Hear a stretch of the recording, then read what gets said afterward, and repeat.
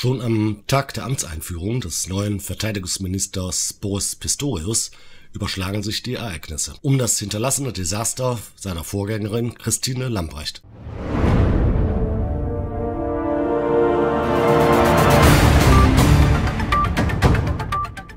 So heißt es in der Welt, plötzlich doppelt so teuer.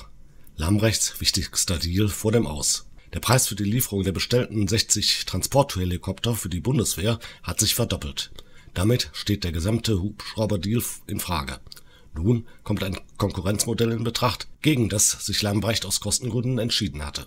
So heißt es auch im Business Insider, der Kauf von 60 schweren Transporthubschraubern gilt als eines der größten Rüstungsprojekte der Bundeswehr.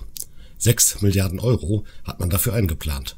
Doch nun soll eine Recherche von Business Insider fast doppelt so viel kosten. Der Grund?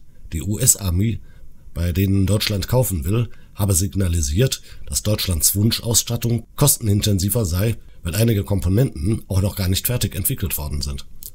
Verteidigungsminister Boris Pistorius dürfte das nun gleich zu Beginn seiner Amtszeit in die Bredouille bringen. Und vor allem auch Rüstungsstaatssekretär Benedikt Zimmer könnte der Fall seinen Job kosten. Nachdem Bundeskanzler Olaf Scholz (SPD) Ende Februar das 100 Milliarden schwere Sondervermögen für die Bundeswehr angekündigt hatte, stand ein neuer, schwerer Transporthubschrauber für die Truppen ganz oben auf der Einkaufsliste der Regierung, ausgewählt unter anderem vom Kanzler persönlich. 60 Maschinen des Typs Chinook will die Bundesregierung bis 2030 von den USA kaufen. Dafür planten Scholz und die inzwischen zurückgetretene Verteidigungsministerin Christine Lambrecht (SPD) 6 Milliarden Euro aus dem Sondervermögen ein, das im Dezember beschlossen wurde.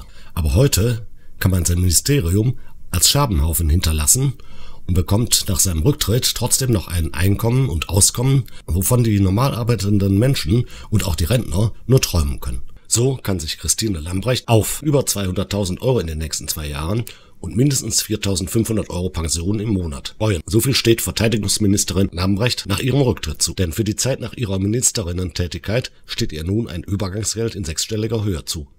Weiterhin bekommt Lambrecht ab einem Alter von 65 Jahren eine Ministerinnen- und Abgeordnetenpension in Höhe von mehreren tausend Euro im Monat. So schreibt es der Business Insider. Und dieses üppige Geld, obwohl im momentanen Bundestag sehr viele Mitglieder vertreten sind, die weder ein abgeschlossenes Studium, geschweige denn eine abgeschlossene Ausbildung nachzuweisen haben.